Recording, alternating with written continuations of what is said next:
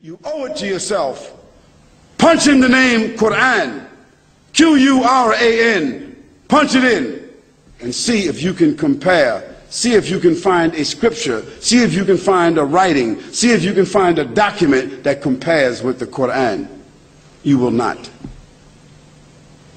Even the Bible, the gospel that Jesus Christ recited, he didn't have it underneath his arms. He wasn't walking around with a book and nobody memorized what he brought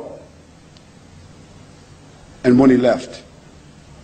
There were pieces of it, different people had, but the Quran was revealed in the life of the Prophet, peace and blessing be upon him, over 23 years.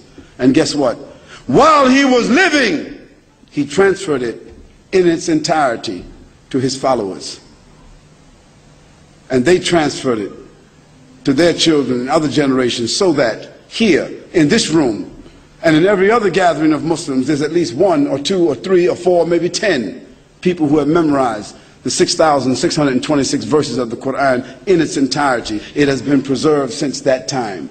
I ask you, if all the Bibles in the world were thrown in the ocean, who would produce the Bible again? Nobody could because they don't even agree about what the Bible is now.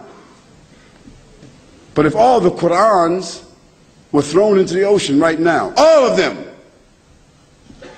we could produce the Quran all over again. We could bring a Chinese Hafiz, memorizer of the Quran, a Russian memorizer of the Quran, an American memorizer of the Quran, a German memorizer of the Quran, who didn't even know each other. They would all come here together, and in two days, they could all recite simultaneously, and the Quran is back again.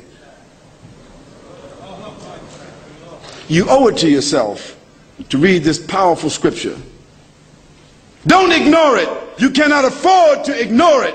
Either it's profound, either it's from God, either it is comprehensive, either it is as I say it is, or it is not. At least you should investigate it. Why should you be blind to something that might have that kind of impact on your life and the life of others? After all, this is not the legislation of Muhammad. Peace and blessing be upon him. It is the legislation of whom? Almighty God.